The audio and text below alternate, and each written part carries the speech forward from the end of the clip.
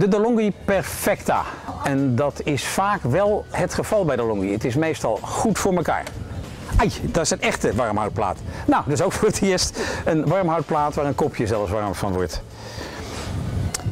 Indiscutabel. De machine ziet er robuust en handig uit. Ik vind het pas handig als ik door het menu ga lopen. Dat wordt of ingewikkeld, en daar schrik ik altijd even, of hij is lekker makkelijk en goed hanteerbaar. De P is voor programma en dan gaat hij door te draaien op ontkalken staan. Dan kunnen we daar akkoord op geven, dat doen we nu niet, want hij is net nieuw. Of we kunnen escapen. We kunnen ook even doorlopen wat het menu ons gaat geven. De taal kan je instellen. De energiebesparing. De tijd kan je instellen. De automatische inschakeling. Ja, daar heeft die tijd ook weer nodig. Je kan ook de uitschakeling instellen. We kunnen allemaal energie besparen, dat is zeker. En de temperatuur instellen. Moet ik even naar kijken dan? Oh, die staat hoog. Dan is het goed. Dan laat hem lekker, zo staan. Dan gaan we er weer uit. Wat heeft hij nog meer? De hardheid van het water kan u opvragen bij uw waterleidingbedrijf in de buurt. Kan u instellen. En de statistiek geeft aan hoeveel kopjes u heeft gedronken of uw familie heeft gehad. Akkoord, we gaan nu uit het menu en ik zie eenvoud. En dat bevalt me. Hij staat op het grootste boontje. Dat betekent dat, dat hij met deze knop afgesteld is op de meeste hoeveelheid koffie te malen per kop. En dat betekent dat u met de meeste koffie dan ook de meeste smaak kan krijgen. Daar ben ik eigenlijk voor hoor. Dan heb je hier in deze draaiknop de mogelijkheid van een klein koppie, een middengroot koppie en een heel groot koppie. En een emmer zoals wij dat noemen. Dat is een hele kom vol. Nou, dat is goed om te weten. En hij heeft dan ook nog, en dat is een hele belangrijke functie, en dat wil men ook graag, en hier staat het ook, cappuccino met één knopsbediening. Eerst zou ik eventjes een espresso lungo willen drinken. Op zijn minst wil ik hem zien. We stellen hem op de kleine portie die ik al heb afgesteld, zodat hij hier driekwart gaat vullen. We drukken gewoon op het knopje en hij zegt extra sterk aroma. En dat kan u, als u goed kijkt, al zien aan de uitloop dat hij best donker zal uitkomen.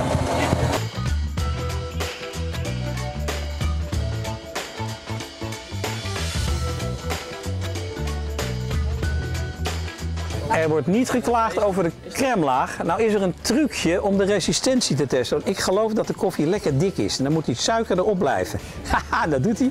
En nu pas gaat hij er doorheen. Even proeven. Deze.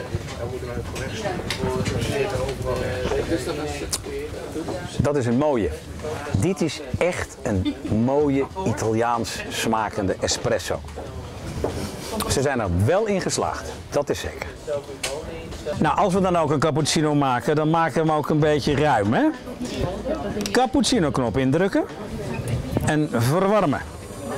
En daar is de Longi altijd groots in geweest in mooi, fijnmazig melkschuim te creëren.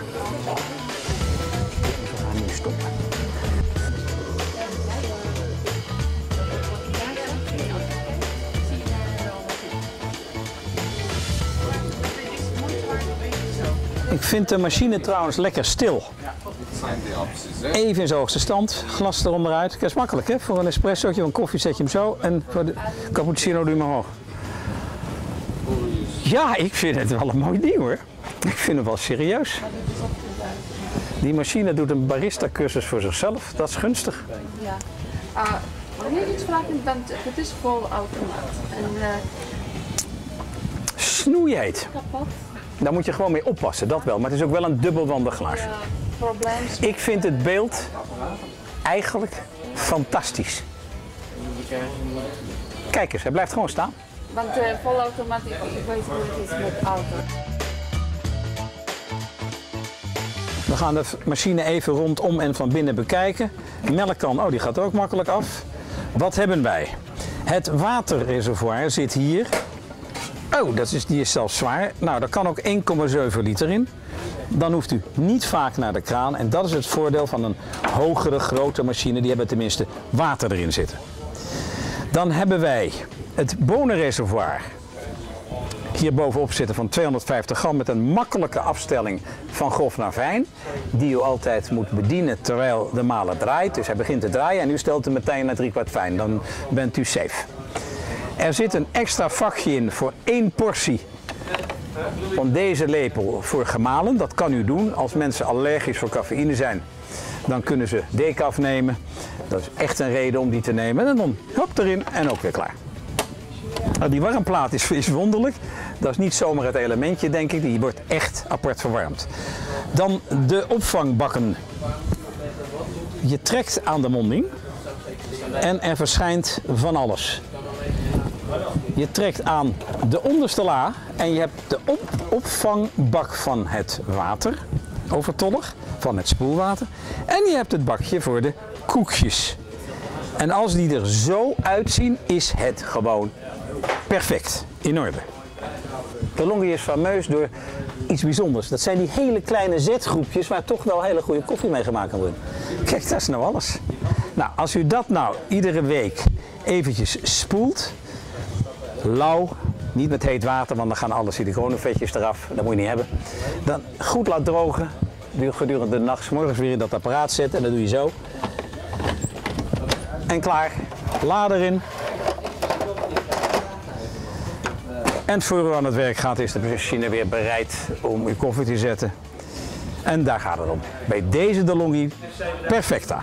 Heel belangrijk is het onderhoud van uw koffiemachine. Naast het schoonspoelen van de zetgroep moet u ontkalken.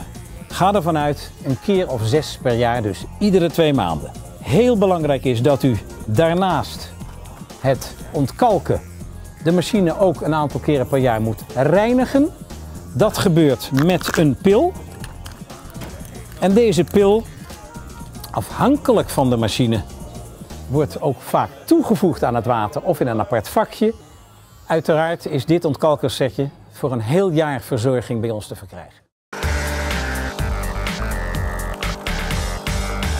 En zo hebben we dan een espresso, latte macchiato, cappuccino of een gewoon kopje koffie van koffiediscounter.nl.